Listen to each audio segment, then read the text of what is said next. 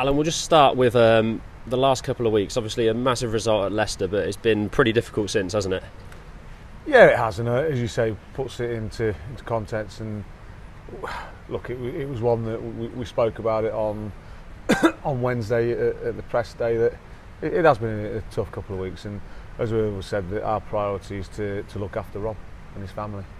And Piers spoke a bit about playing for Rob for these last couple of games. I'm sure that's a massive motivation, and, and also picking up where you left off at Leicester. No, it is, and I also alluded to the, the, the fact on, on Wednesday what a, how tight the, the players have been this year, and and Rob's been a big part of that. And as I say, I made no secret about it after the game in terms of Rob was captain, and he, he found that he took it as a privilege and an honour to lead the Saints up at Welford Road, and the the, the, lads responded in the in the fashion that they showed in that game, and, and they, they played with desire and commitment, and we got the result we, we worked so hard for.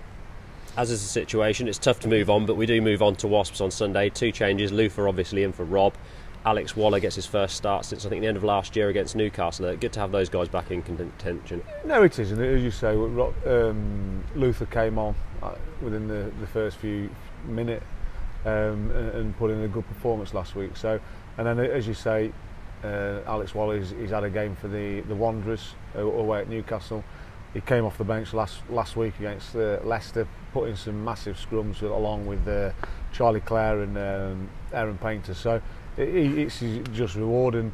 Um, not to say that Campese Ma'afu's been been excellent during his uh, in during uh, Alex's absence. So um, it's just it's one of those in terms of the, the strength of the squad.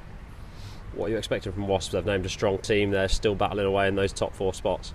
We're, under no illusion. We, we talked about going to Leicester as being a challenge, and it's going to be no different this week going to Coventry. And we need to to kind of bottle that emotion and commitment and um, being clinical as well. I thought that was, that was a positive uh, against Leicester, and we need to take that to Coventry on Sunday.